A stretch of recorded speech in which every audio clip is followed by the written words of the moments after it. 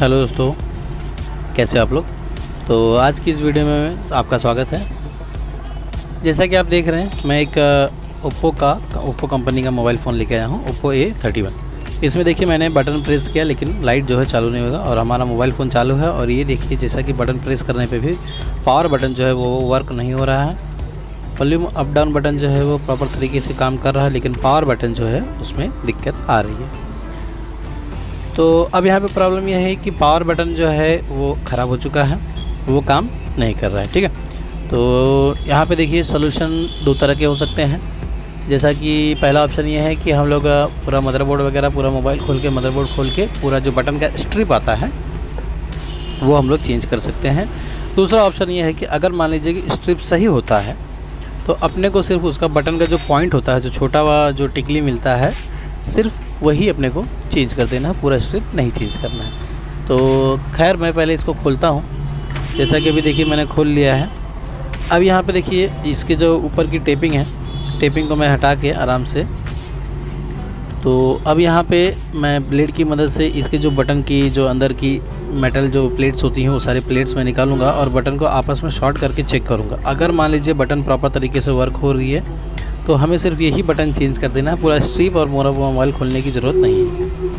तो देख पा रहा हूँ मैं जैसे कि अब यहाँ पे देखिए, बटन प्रेस करने पे हमारा जो बटन है, वो प्रॉपर तरीके से वर्क हो रहा है। मोबाइल का डिस्प्ले का लाइट आप देख सकते हैं। फन चालू हो रहा है। तो अपने को क्या करना है, खाली ये जो बटन का जो टिकली होता है, उसे ही अपने को चेंज करना है। यहाँ पर अपने को मोबाइल फ़ोन देखिए, पूरी तरह से खोल के, उसका मदरबोर्ड वगैरह निकाल के, फिर स्ट्रिप चेंज करने की ज़रूरत नहीं है। अगर आपका मोबाइल सील पैक है, पैक पीस है तो आपको उसको खोल के छेड़ने की ज़रूरत नहीं है। अगर बिना खोले काम हो सकता है तो उसको खोल के क्यों करना है? तो अब यहाँ पे देखिए मैं आयरन की मदद से, आयरन को मैंने देखिए बटन को, बटन के ऊपर होल्ड करके रखा है। हार्डली तीस चालीस सेकंड आप भी इसी तरह से होल्ड करके रखेंगे तो आयरन जो है आपके बटन को पूरी तरह से मेल्ट करके उसको आसानी से निकाल देगा। जैसे कि आप देख सकते हैं, जैसा कि मेरा निकल चुका है, ठीक है? तो ऐसे में क्या है, अपना काम हो जाता है आराम से और डैमेज भी नहीं था अब यहाँ पे देखिए मैं शॉर्ट करके चेक कर रहा हूँ, जैसा कि मैं चेक कर पा रहा हूँ, बटन जो है वो प्रॉपर तरीके से वर्क हो रहा है। बटन के जो पॉइंट्स है, वो बरोबर है, दोनों पॉइंट्स में सप्लाई आ रही है। तो अब अपने को यहाँ पे सिर्फ़ एक बार क्लीनिंग वगैरह कर दिया है, जैसा कि अब यहाँ पे एक बार क्रॉस चेक करके अपने को जो है नया वाला बटन इंस्टॉल कर देना है। ठीक? तो ये देखिए प्रॉपर तरीके से वर्क हो रहा है और कोई दिक्कत नहीं है। तो फिर अब हम लोग यहाँ पे क्या करेंगे, इसको पॉइंट्स को रिसोल्डर करेंगे और जो नया वाला बटन है, जो नया बटन हम लोग मार्केट से लेके आए हैं, उस बटन को यहाँ पे इंस्टॉल करेंगे। नया वाला बटन सोल्डिंग कर देंगे ठीक है?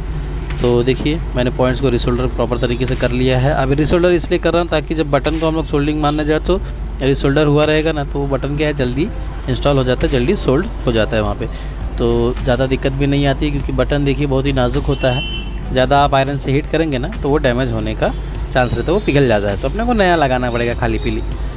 तो इसके लिए मैंने जो है उसको रिसोल्डर किया है। अब देखिए बटन्स मेरे पास काफ़ी ज़्यादा हैं तो मैं उसमें से बटन एक निकालूँगा। थैली में मैंने बटन पहले से ऑलरेडी ला के रखा हुआ है। तो यहाँ पर देखिए, ये छोटे छोटे बटन्स हैं। तो इस बटन को मैं यहाँ पे निकाल ले रहा हूँ और उसको लगाएँगे हम लोग अपने वाले मोबाइल फ़ोन के अंदर, ठीक है? चलिए, इसका काम हो गया, इसे साइड में रखेंगे। तो अब देखिए, जैसे कि मोबाइल फ़ोन की स्क्रीन पे आप देख सकते हैं कि ये जो है बहुत ही छोटा सा बटन है। तो इस बटन को अपने को आराम से यहाँ पर रखना है और इसको सोल्डिंग कर देना है। तो देखिए सोल्डिंग करने के टाइम पे ध्यान रखिएगा कि बटन को आप परफेक्ट तरीके से पहले एडजस्ट कर दीजिए और हल्का सा नाखून या ब्लेड या चिमटी जिसकी भी मदद आप ले सकते हैं, जिससे भी आपको सूटेबल लगता है, उसको हल्का सा प्रेस करके रखिए और अपने बटन को जो है आसानी से सोल्डिंग कर दीजिए। और दोस्तों, देखिए बटन भले ही दो मिनट की जगह तीन मिनट लीजिए आप, लेकिन उसको परफेक्ट तरीके से शेप में और उसको एकदम स्ट्रेट रख के एडजस्ट कीजिएगा, वरना जब आप मोबाइल पैक करेंगे तो बटन उखड़ने का चांस रह जाता है बटन वर्क नहीं करता है तो फिर अपने को नया बटन लगाना पड़ जाएगा। तो वो दिक्कत हो जाती है तो इस चीज़ का अपने को ध्यान रखना है कि बटन को जो है परफेक्ट तरीके से एडजस्ट करने के बाद ही सोल्डिंग करना है अपने को, ठीक है? तो देखिए, जैसे कि मैं यहाँ पर सोल्डिंग कर दिया हूँ, दोनों तरफ़ से सोल्डिंग हो जाएगी और एकदम अच्छी तरीके से आपको सोल्डिंग कर देना है, दोनों तरफ़ से करना है, ठीक है? और यहाँ पे चेक करते हैं, जैसा कि हमारा बटन जो है वो सोल्डिंग होने के बाद भी एकदम परफेक्ट तरीके से वर्क होने लग गया है। अब देखिए, यहाँ पे आप चेक कर सकते हैं। जैसा कि मैं बटन प्रेस कर रहा हूँ और मोबाइल का लाइट आप देख रहे हैं। बंद चालू बंद चालू हो रहा है, ठीक है? तो दोस्तों, आज की वीडियो जो थी बटन को रिप्लेस कैसे करना है, उसके ऊपर था। तो अब यहाँ पे हम लोग इसको वापस से टेपिंग वगैरह जो भी जैसे लगी हुई थी, वैसे लगा सकते हैं। और नया टेपिंग भी आप लगा सकते हैं, कोई दिक्कत नहीं है। नहीं लगाना चाहे तो भी नहीं भी लगा सकते हैं। तो जैसा कि मैं इसको यहाँ पे लगाने की कोशिश कर रहा था तो ये लगा नहीं। तो कोई दिक्कत नहीं है, नहीं लगेगा तो भी भाई हमें कोई परेशानी नहीं होने वाली है। बस आप ध्यान रखेंगे कि अगर टेपिंग आप कर सकते हैं तो कर दीजिए, नहीं कर सकते हैं तो कोई इशू नहीं है, कोई समस्या नहीं आने वाली है। और इस फ़ोन में एक छोटी सी दिक्कत ये है दोस्तों कि इसका स्पीकर जो है वो वर्क नहीं होता है मतलब वर्क होता है, बहुत ही स्लो साउंड आता है उसका। तो उसको भी हम लोगों ने खोला है तो उसको भी हम लोग चेक कर लेंगे। तो इसमें एक छोटी सी दूसरी प्रॉब्लम है तो यहाँ पे देखिए इन्होंने वीडियोस कुछ रखा है। तो वीडियो हम लोग प्ले करेंगे और ऑडियो सुनने की कोशिश करेंगे। जैसा कि मैं सुन पा रहा हूँ देखिए यहाँ पे वॉल्यूम जो है वो फुल है लेकिन आ, स्लो आवाज़ आ रही है तो अपने को ज़्यादा कुछ नहीं करना है खाली इसको देखिए क्लीन करना है जिस तरह से मैं क्लीन कर रहा हूँ। अब देखिए जैसा कि मैंने क्लीन किया आप खुद भी फील कर सकते हैं वॉल्यूम जो है वो बढ़ चुका है। देखिए। पहले के मुकाबले और अब के मुकाबले में वॉल्यूम जो है वो काफ़ी ज़्यादा इंक्रीज़ हो चुका है।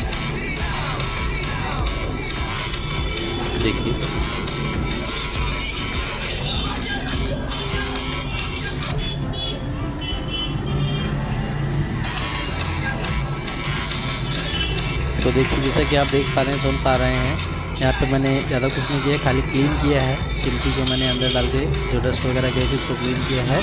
और क्लीन करके हमारा जो है वॉल्यूम जो है, वो इंक्रीज़ हो चुका है। वो वॉल्यूम जो है, वो प्रॉपर तरीके से सही हो गया है।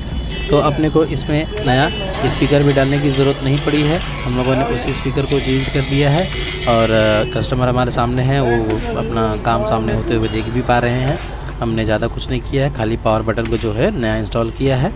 तो देखिए पावर बटन हमने इंस्टॉल कर दिया आप सिम कार्ड वगैरह लगा दे रहे हैं और हमारा जो बटन है वो प्रॉपर तरीके से वर्क होने लग गया है। तो दोस्तों, आज की वीडियो में बस इतना ही था। अगर आपको वीडियो से रिलेटेड कोई भी दिक्कत है, कोई भी पॉइंट नहीं समझ में आया है तो आप मुझे कमेंट कर सकते हैं। मैं आपके हर एक क्वेश्चन का आंसर दूँगा। देखिए, जैसा कि बटन हमारा एकदम परफेक्ट तरीके से वर्क हो रहा है। तो ऐसे ही मेरे साथ बने रहिए। अगर आपको कुछ दिक्कत, कुछ डाउट है तो मुझसे कमेंट करके पूछ सकते हैं, मैं आपको आपके क्वेश्चन का आंसर दूँगा। चलिए ठीक है तो आज की वीडियो में बस इतना ही था। मैं आपसे अपने अगले वीडियो में मिलूँगा, ठीक है? तो अगर बटन से रिलेटेड आपके पास कोई भी प्रॉब्लम आती है दोस्तों तो आपको पता है कि अभी किस तरह के स्टेप्स लेने हैं, कैसे उसको, ठीक, करना है।